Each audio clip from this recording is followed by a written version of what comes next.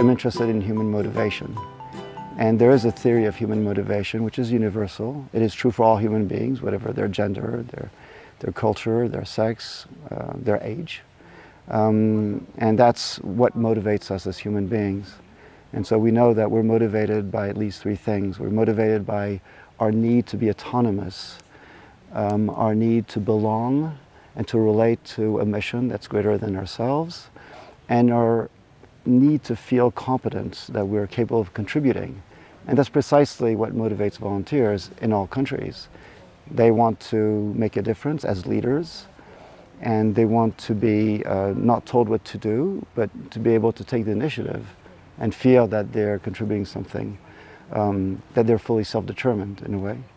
Um, they also need to belong to the Red Cross because the Red Cross is more than just a family, it's really a global movement and a national institution.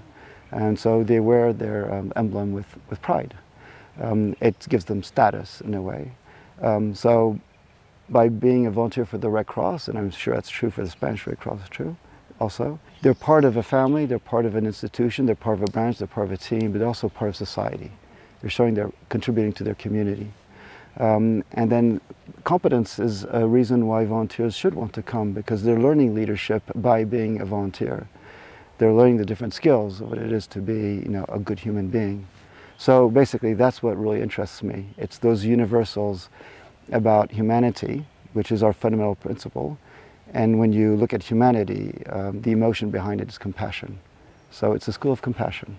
And when I'm here um, in Spain, I feel the compassion. So that's also a source of inspiration.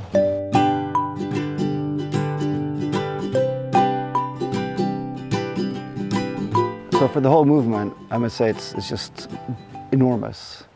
Uh, we have 15 million volunteers and everyone is unique.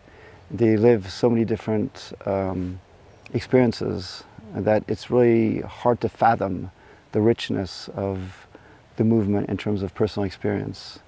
Um, for the Spanish Red Cross, I would like to know more and have more contacts with the Spanish Red Cross, but I do know that the Spanish Red Cross has an incredible reputation um, about how they can inspire volunteers and about the, the thriving, vibrant community of volunteers that it has uh, nurtured.